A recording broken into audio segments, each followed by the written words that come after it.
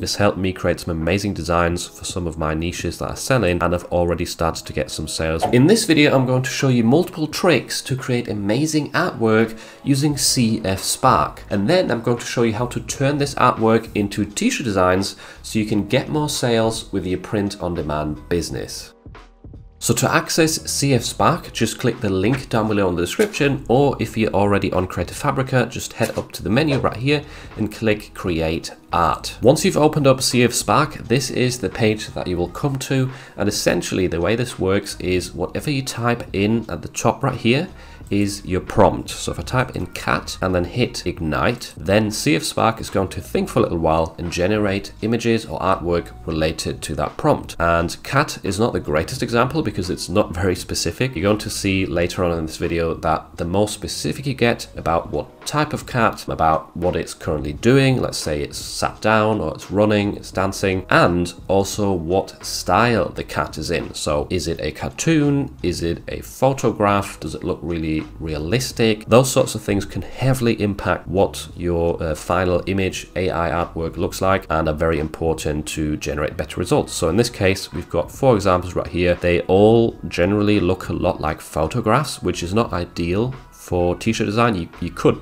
probably use them, but we want to try and get some different results ideally. For example, you could type in up here, sticker of a happy, cute cat, and then you can use these buttons below right here for the style and just click on kawaii because that is always quite t-shirt design related, or it looks a lot like a t-shirt design in most cases. And the sticker aspect of this prompt also helps with making it, first of all, so you can cut out the design more easily afterwards, and also so it doesn't bleed over the edge. Like for example, this cat right here, the legs are leading out of the image and you can't see them. With stickers, the artwork tends to be all visible within the design and you don't have like a cut off head or something. So if we try this out right now, see what the results are in comparison to our previous prompt, I think especially this one on the right does actually look a lot like a t-shirt design and could be usable in our case. Now, I do recommend always trying this multiple times. So I'll hit ignite another two times because sometimes you'll try this four or five times and then the, the fifth time you actually get a lot of really great results. You have to give it a chance. It's not always going to turn out perfect. It is artificial intelligence that's still learning, but you're going to see some nice results. And once again, the ones on the right probably look the best and might be usable for a t-shirt.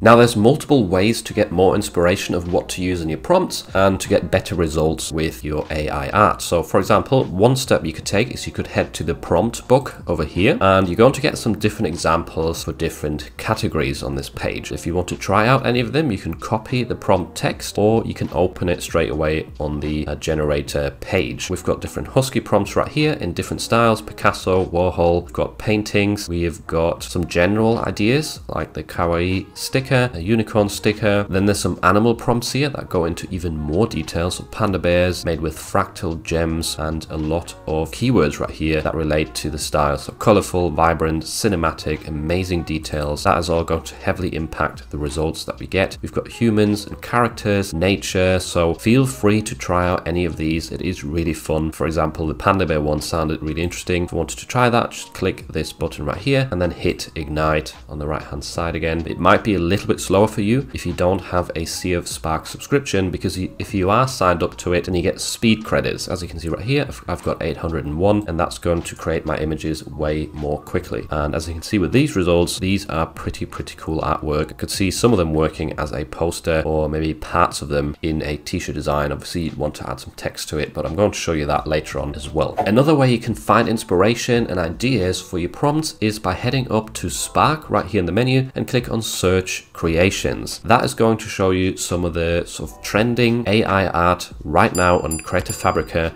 And if you hover over these images, you sometimes see that the prompt is hidden by its creator. That's another feature of the CF Spark subscription, because if you want to download your artwork, you have to publish it first. And if it's published, other people can also see your prompt. But if you want to hide it, you can sign up to CF Spark. In some cases, like this cow right here or the bumblebee right here, you can actually see the prompt. You can copy it as well well if you want to, and then alter it a little bit, maybe put in a different animal rather than Bumblebee and see what CF Spark comes up with. That's what I've done in the past and seen some really great results with. And another tip is scrolling up to the search mask and then typing in a specific niche that you want to enter. For example, if we're looking at Black History Month, one of the sub niches there is melanin. And if we type that in, we see a lot of really great results for that keyword. If you've ever done research in this niche, you probably know that a lot of t-shirt designs which sell well are aimed at women.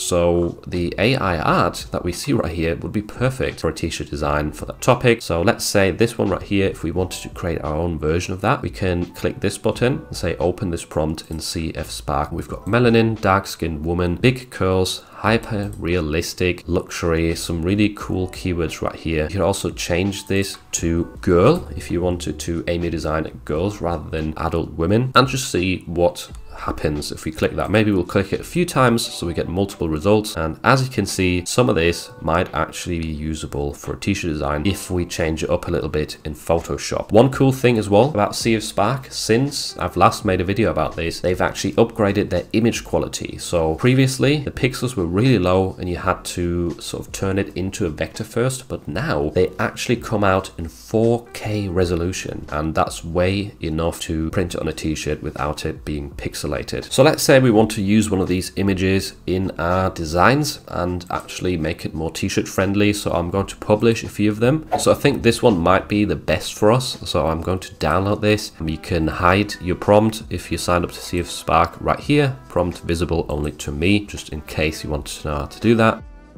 Once that's done, I would pull it into Photoshop right here. As we can see, if I zoom in a little bit, this is actually really high quality, very nice graphic. So one thing I like to do, if I've got a square image like this, is use some sort of frame like this right here. I'm going to leave a download link to this in the description. You can just get it for free if you want to follow along and sort of make this fit the image. So by holding down shift, you can click on any of these edge points and draw them out. So do this on either side until it sort of covers most of this image. Go over here to the layers panel, hold down control, click on that layer, and we can then click on our image right here underneath, and then select the layer mask down here. Add a layer mask, and now if we hide this frame or this cutout, then as you can see, the edges of our photo look very jagged and well, just a bit more suitable for a t-shirt in my opinion. So we size this down a little bit, we've now actually got some space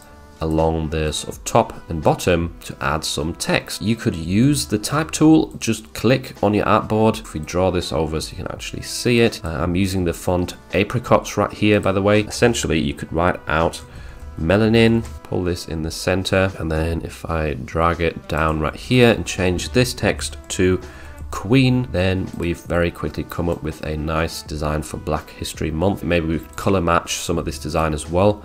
Um, so you could uh, maybe match some of the colors of her face right here. It's just, just some ideas, um, but you, you, get the gist if you actually change the image up a little bit so it's not just a plain square and add some text, then it looks extremely nice and definitely has potential to sell. Now I'm also going to show you how to turn these sticker types of designs into a usable t-shirt graphic. And to do that, essentially, you want to head over to the layers panel, then add a layer mask to that sticker and then click on the design thumbnail once again. You don't want to have the layer mask selected. Once you've done that, head up to the toolbar and use the quick selection tool. You can also use W on your keyboard. By the way, you can use the open and close bracket to increase the brush size right here. And now what we want to do is select everything around this cat that we want to get rid of essentially. So just left click on the background and then drag this around the edge of the cat. Make sure not to actually touch the cat itself and then it should automatically select everything around the edges. Now it's missed out a little bit right here where the tail is so um, I'm going to use the open bracket to make my brush smaller and then just click onto this once. It will calculate for a little while and now we've got everything selected that we want to delete and to delete it you want to make sure that your colors over here are black at the top. Then you want to go back to the layers panel and select the layer mask right here and then hit control and backspace on your keyboard. As you can see, that is now painted in the layer mask right here with our selection. And if we hit Control D now and zoom out, we can see that we've got a very nice cat graphic to use. You can now go ahead and once again add some text on the top and bottom or arrange this however you want. You can put a vintage sunset behind the cat if you wanted to as well. Essentially, we've got a really nice cat graphic that suits t-shirt design and that is usable for many different scenarios.